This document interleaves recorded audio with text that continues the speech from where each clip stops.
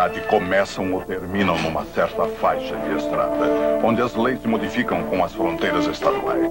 Combatendo essas falhas da lei, há um novo tipo de homem, agindo em segredo. São conhecidos simplesmente como Highwaymen. Esta é a história apaixonante de um deles. O Highwayman.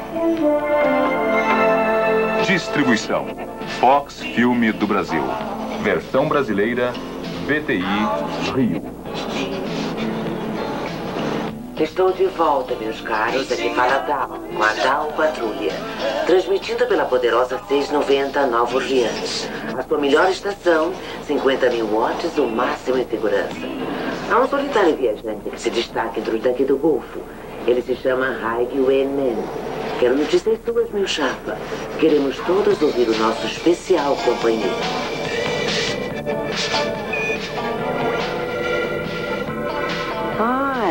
Se não é o pesadelo das nossas estradas interestaduais.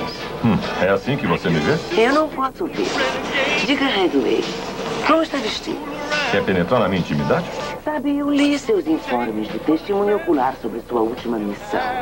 Eu acho difícil acreditar que alguém possa realmente trabalhar vestido couro, correntes e com uma arma do tamanho de uma bazuca. Olha aqui, moça, eu estou dirigindo um caminhão do tipo blindado. Você não vai querer que eu use uma camiseta de seda bordada, vai? Espera aí, você acha que eu tenho cara de quem usa seda bordada? Qualquer dia eu vou descobrir que tipo de roupas você costuma usar. Oh, até lá eu me contento com um pouco mais de comunicação. O Sr. Toto vem tentando contactá-lo por todo o sul do Texas. O Sr. Toto já me aprontou tantas que eu não quero mais nem ouvir falar nele.